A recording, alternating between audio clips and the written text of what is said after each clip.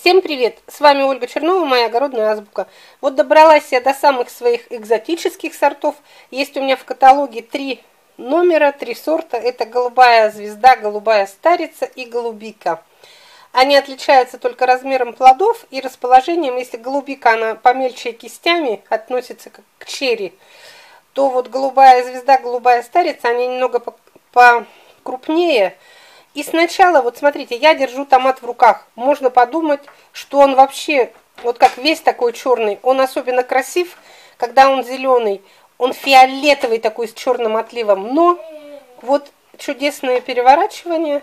И вот так, когда я держу, то можно подумать, что томат вообще совсем обыкновенный. Вот такие чудесные томаты, которые, видите как, они двухцветные, но они двухцветные только снаружи. Когда мы разрезаем этот томат, голубая звезда или голубая старица, неважно, внутри он обычный томат, у него очень такой явно выраженный помидорный вкус.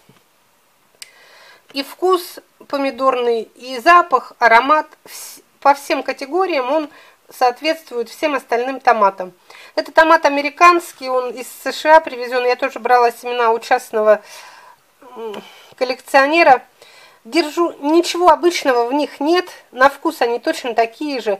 Держу только из-за их экзотического вида, потому что зрелище потрясающее, особенно мне нравится в зеленом виде. Когда они зеленые, они вот ярко-фиолетовые, такие синеватые. Особенно голубика поражает, она как ягода, вот ягода голубика, и вот эти вот томаты, они маленькие, такие синенькие, фиолетовые с отливом. Но потом постепенно, где-то у меня есть более зеленый, вот он, Сначала они вот такие вообще, как негритята, видите, вот томат негра. Потом понемножку, понемножку у них начинает проступать краснота, вот с этого, вот с этого части, с носочка. Проступает, проступает, и в конце концов он, половина томата делается прям ярко-красным, но обыкновенно такой классический красный цвет – а половина томата вот у жопки, она так и остается синий-фиолетовой. И поэтому, когда томаты вот так вот висят, они висят вниз красным, кажется, что они фиолетовые.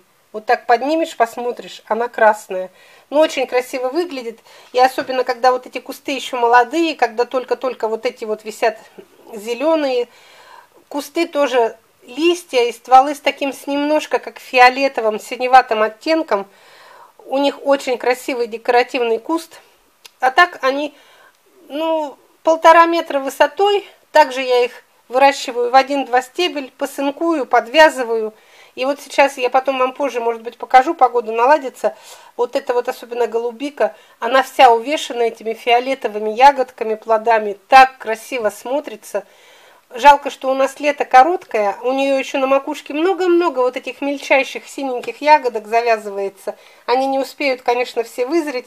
Многие у меня в том году покупали этот сорт. Люди берут, конечно, из-за экзотического внешнего вида, потому что на вкус эти томаты такие же, как и обычные. Что вот наш возьми, например, Демидов или Спиридон, что эти? Если с закрытыми глазами вы покушаете, вы не, не отличите никакого различия, не найдете но внешний вид потрясает, очень красивый. Вот это такое краткое знакомство с нашим гостем из Америки, с томатом «Голубая звезда». Потом покажу и голубику. Все, до свидания. С вами была Ольга Чернова. Ох, какая! Это прям черная звезда.